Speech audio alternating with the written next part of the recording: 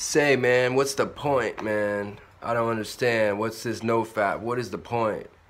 What's up, guys? It's Mack Attack, and thank you for watching today's video. I uh, hope you all are doing well. How are you doing? Let me know in the comments below. Tell me how you're doing, how is your day, and how is your streak. I um, am currently on my first week again of hard mode, no PMO, and I just wanted to make a video because um, it's important for me. This is what I'm doing. This is like my thing now. I'm making no fap videos.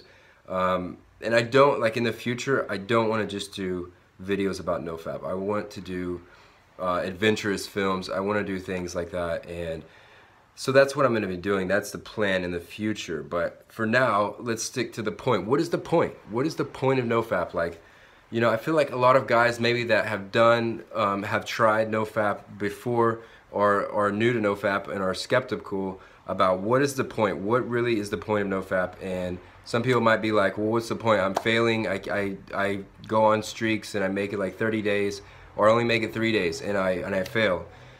I think the point, man, is to remove this addiction and don't get hung up on the word addiction. Men, masturbating to internet porn is a drug that utilizes and oversensitizes our brains. In many cases, it reduces the frontal lobe activity, leading to less self-control and can cause addiction.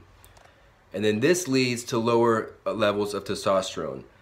And that can raise levels of emotional and sexual emotional insecurity. I, I did write this down, by the way. I didn't memorize all this. Um, and then it also leads to irritability and compulsive behaviors. Porn addiction is one of the fastest growing health epidemics in the world. And in my opinion, yes, it is true. Porn, internet porn specifically, is an addiction. And we're trying to recover. NoFap is, is a place, is a community where, where men are, mainly men, some women, are coming together and trying to recover, trying to get their lives back because their lives have been wrecked.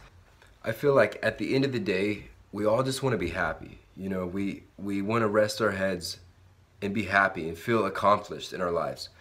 So whether you're on a hundred day streak, whether you're on day one, whether you started over, whether you failed, whether you've been trying many times, whether you've never done this before, I think we want to just be happy, you know, and I think it's important to remember not to take this so serious.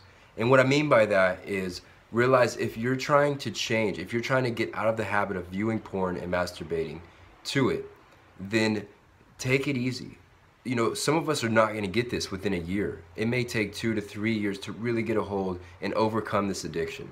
So go easy on yourself and learn to love yourself and appreciate where you are, no matter where you are. If you're on day one or day 101, like be happy and realize you are who you are and you can't change it by looking in the future or looking in the past.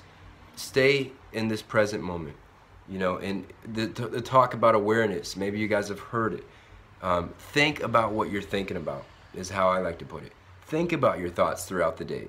And are they negative? Are they positive? If they're urges, change those. You know, change what you're doing. You might have to physically stand up and do something else if you're having an uncontrollable urge on NoFap.